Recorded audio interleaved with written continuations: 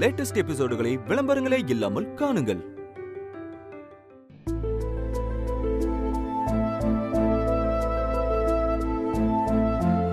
என்னங்க? Tiffin ready ஆயிடுச்சு. நீங்க சாப்பிட்டு போயிடுங்களேன். இல்ல வனதி. காலையில ஒரு கிளைண்ட் மீட்டிங் இருக்குன்னு சொல்லியிருந்தால அதுக்கு கொஞ்சம் சீக்கிரமா போய் ஆகணும். நான் கேன்டீன்ல சாப்பிட்டுக்கிறேன். பை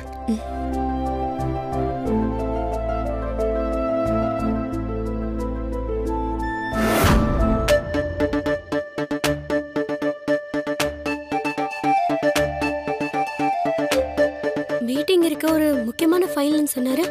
இப்படி மறந்து விட்டுட்டு போறாரே. ஏங்க?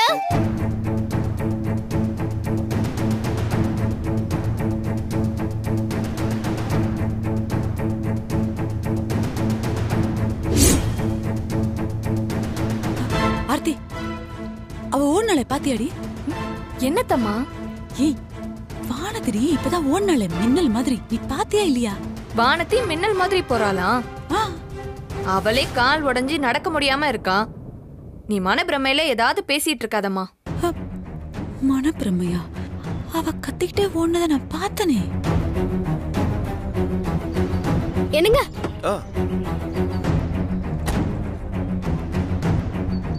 மறந்து ஃபைலை விட்டுட்டு போறீங்க. இதை ரூம்லயே வச்சுட்டு வந்தேன். இன்னைக்கு மீட்டிங்க்கு தேவைப்படுற முக்கியமான ஃபைல் தான் அது. இதை மட்டும் எடுக்காம போயிருந்தா அவ்வளவுதான். அதனால தாங்க நான் எடுத்துட்டு வந்தேன். இந்தாங்க. ரொம்ப தேங்க்ஸ் வானதி. அப்புறம் எங்க? லேட் ஆயிடுச்சுன்னு ரொம்ப வேகமா போகாதீங்க. பார்த்து பத்திரமா மெதுவா போங்க சரியா? சரிங்க போயிட்டு வாங்க.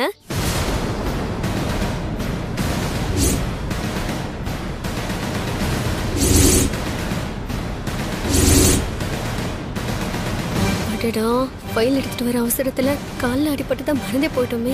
ஒருவேளை நம்ம ஓடி வந்ததை கவனிச்சிருப்பாரோ? என்ன மேடம்? ஃபைல் கொண்டு வர அவசரத்துல உங்க கால் வலியெல்லாம் காணாம போயிடுச்சு போல இருக்கு.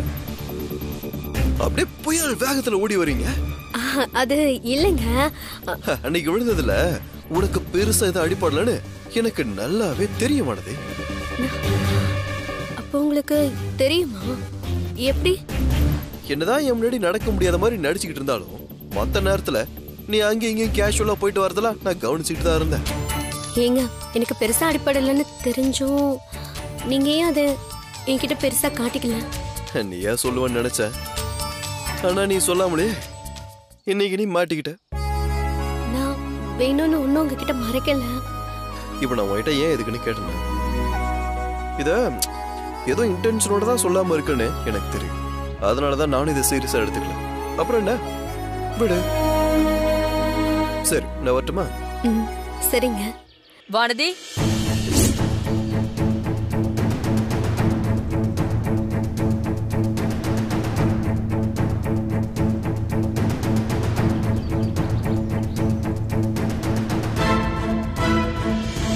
கால் வலிக்கும்ல நீ இப்ப எதுக்கு வெளியில வந்திருக்க? உன்னை எங்கேயும் போக கூடாது ரூம்ல ரெஸ்ட் எடுக்கணும் தானே நான் சொல்லியிருந்தேன். இவரு ஃபைல ரூம்ல மறந்து வச்சுட்டு வந்துட்டாருமா. அத கொடுக்கலான்னு தான். அத நீதான் கொண்டு வந்து கொடுக்கணுமா? வீட்ல எத்தனை பேர் இருக்காங்க? அவங்க கிட்ட சொன்னா அவங்க கொண்டு வந்து கொடுக்க போறாங்க. எல்லாம் ஒன்ன சொல்லணும்டா. மா உன்னோட கேர்லெஸ்னஸ்னால தான். அவ இப்படி மாடியில இருந்து கீழே வரைக்கும் இறங்கி வந்து கஷ்டப்பட்டுட்டு இருக்கா. இப்ப கால் வலியோட திரும்ப அவ ரூம் வரைக்கும் நடந்து போகணும். அதெல்லாம் ஒண்ணும் பிரச்சனை இல்லம்மா. வானதி கஷ்டப்படாம கால்ல வலி இல்லாம நான் ரூமுக்கு கொண்டு போய் சேர்த்துருவேன். எப்படிரா ஒரு நிமிஷம்.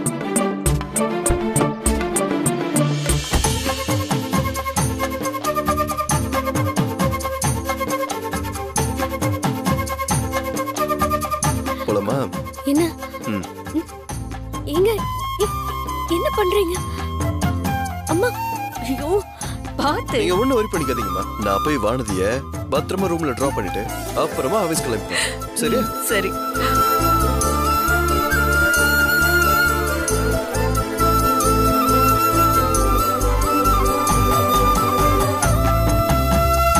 ஏங்க இப்படி பண்ணீங்க? அம்மா முன்னாடி. இப்படி உடனே அடுத்த காலி பண்ணலன்னு வைய அப்புறம் நான் கண்டுபிடிச்ச மாதிரி அம்மாவை நீ நடிக்கிறேன்னு கரெக்டா கண்டுபிடிச்சிருவாங்கல்ல? நீ அமைதியா வேணா பாத்துக்க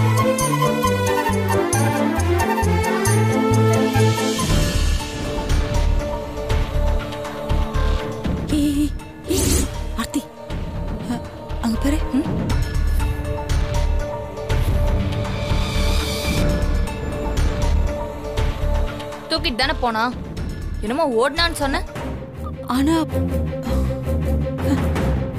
அவ ஓடின மாதிரி தான் இருந்தது. இப்ப தூக்கிட்டு போறா.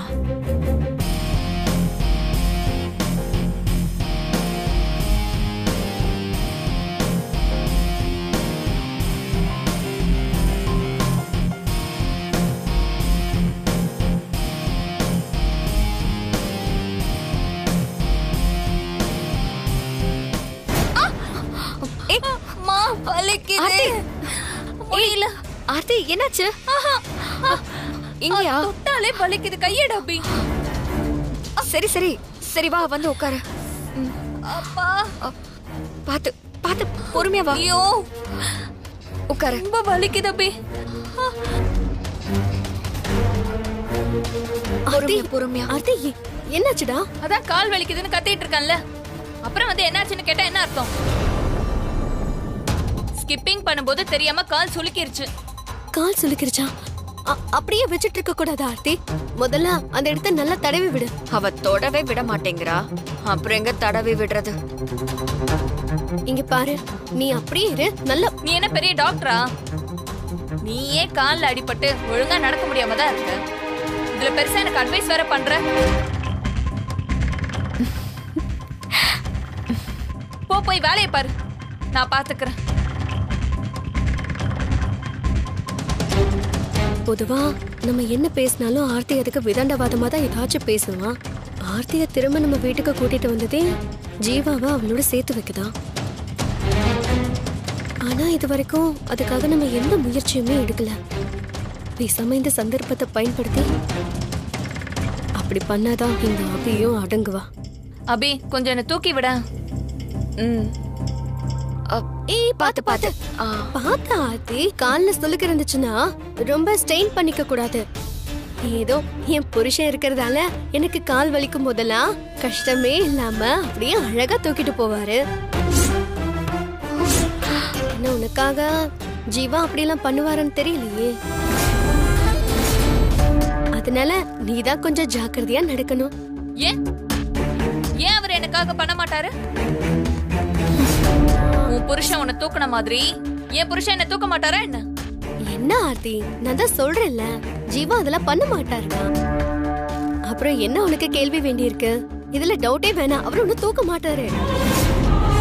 என்ன இவ? சம்பந்தமே இல்லாம ஆர்த்திக்கு கொம்பு சீவி விடுறா? இதெல்லாம் ஏன் பண்றா? ஒன்னும் புரியலையே. ஆர்த்தி நீ என்கிட்ட இப்படி எல்லாம் பேசலாம். ஆனா நீ இதே மாதிரி ஜீவா கிட்ட பேச முடியுமா? சொல்லு. இப்பவே கூப்பிட்டு சொல்றேன். ம். கூப்பிட்டு பார்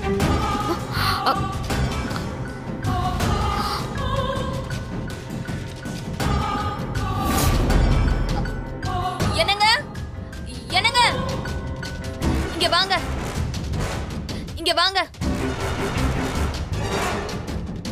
ஐயோ.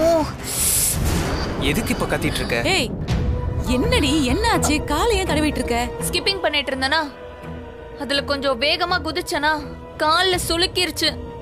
என்னால ஒரு அடி கூட எடுத்து வைக்க முடியல.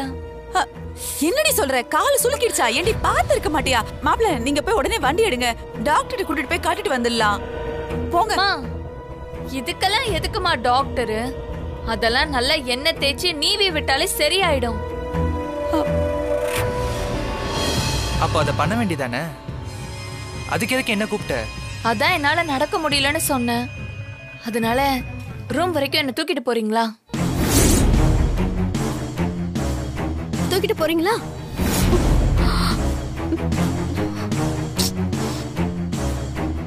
என்ன யோசிக்கிறீங்க? தூக்கிட்டு போங்க. தூக்கிட்டு போறதுக்கு நீ என்ன சின்ன குழந்தையா? வழிய பொறுத்துக்கிட்டு நீ ஏன் கொஞ்சம் கொஞ்சமா அப்படியே மெல்லமா ரூமுக்கு நடந்து போ.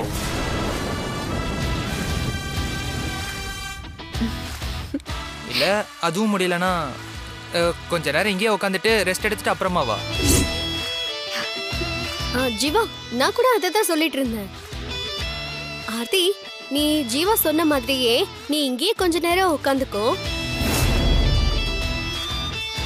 அவராலெல்லாம் உன்னை தூக்கிட்டு போக முடியாது.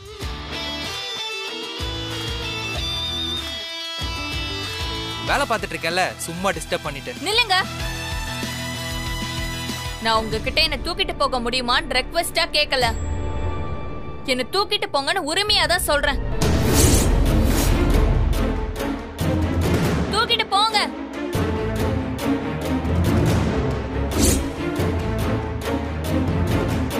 தூக்கிட்டு போங்க ஜீவா.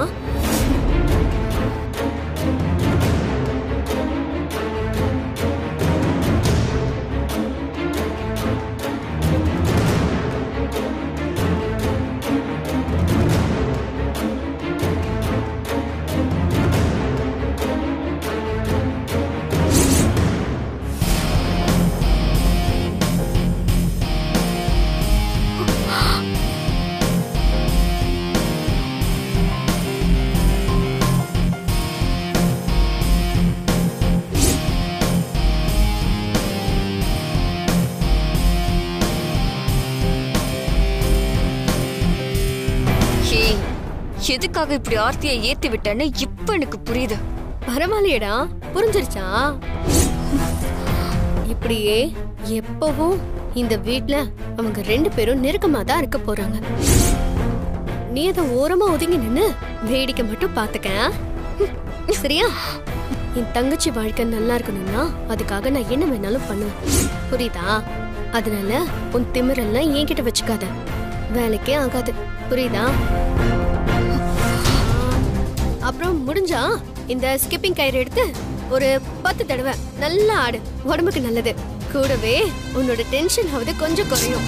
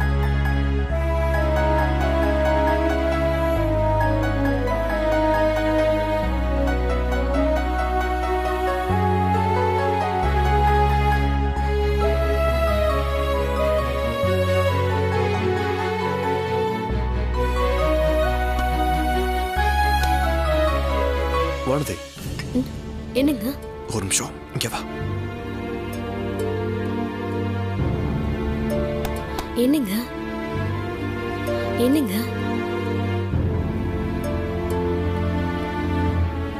நானும் ரொம்ப நேரமா பாத்துக்கிட்டே இருக்கேன். ஸ்வேதா ஒரு மாதிரி மூட் அவுட்டாவே இருக்காளே.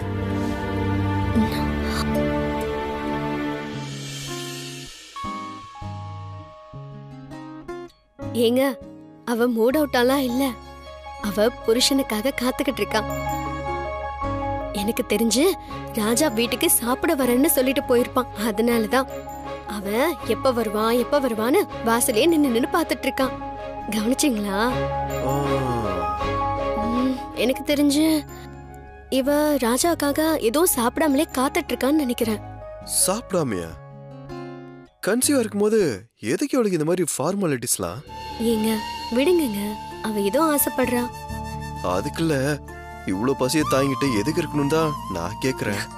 இவ இங்க இப்படி சுத்திட்டு இருக்கான் ஆனா எனக்கு தெரிஞ்சு ராஜா சமோசா ஸ்நாக்ஸ் அது இதுன்னு ஃபுல் கட்டு கட்டிட்டு தான் வருவான். நீங்க வேணா பாருங்க.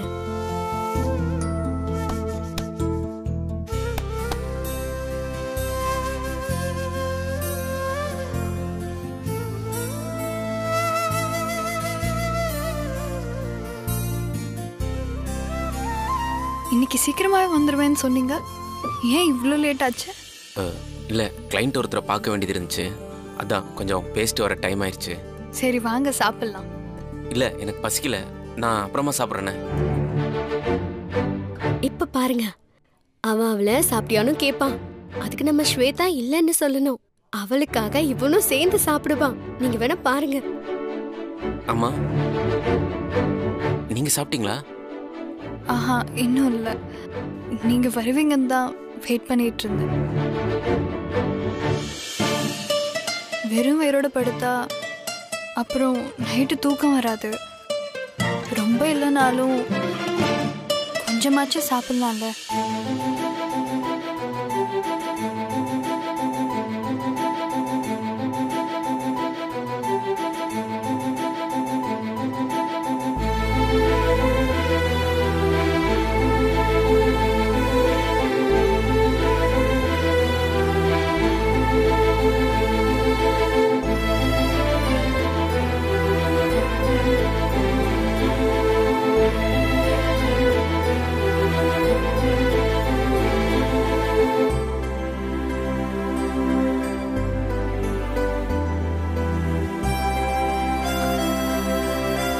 உட்காருங்க.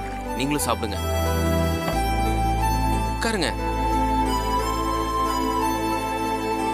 உட்காருங்க.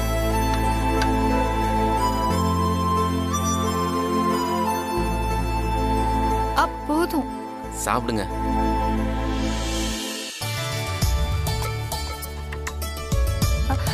போதும்.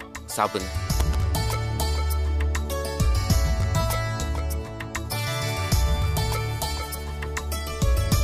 எப்படி வானதி? இவ்வளவு கரெக்டா சொன்ன? இன்னும் நான் சொல்ற மாதிரி என்னெல்லாம் நடக்கும் பாருங்க. பாருங்க பாருங்க. அவ கொஞ்சமாவது சாப்பிடுங்க தானே சொன்னான் எங்க அவன் சீக்கிரமா சாப்பிட்டு எந்திரிச்சிட்டா? அவளும் எந்திரிச்சிருவான்னு சொல்லி அவளுக்கு கம்பெனி கொடுக்கற மாதிரியே ஆற அமர பொறுமையா நிறைய சாப்பிடுவான். பாருங்க.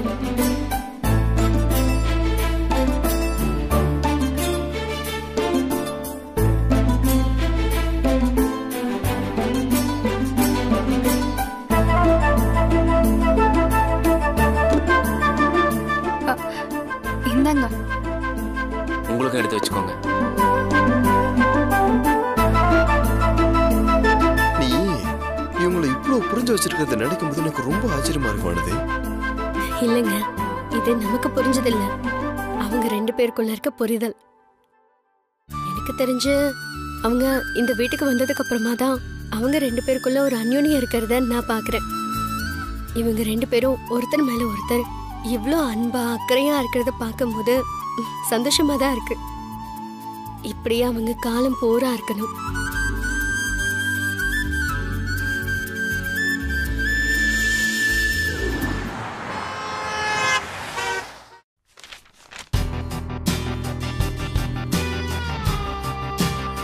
வேற ஏதோ ஃபைல் பார்க்க வேண்டியது இருக்கா? இல்ல சார் வேற எதுவும் இல்ல. ஓகே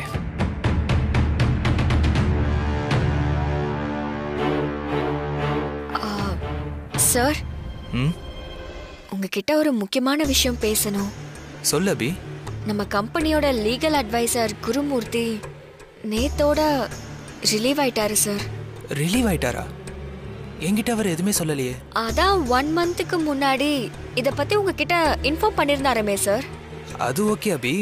ஆனா இங்க இருந்து போறதுக்கு முன்னாடி அவர் என்கிட்ட ஒரு வார்த்தை சொல்லணுமா இல்லையா? சார் அதை விடுங்க சார். போனவரை பத்தி எதுக்கு நம்ம பேசிக்கிட்டு?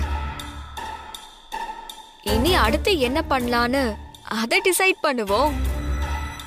நான் ஒன்னு சொன்னா தப்பா எடுத்துக்க மாட்டீங்கல்ல? என்ன?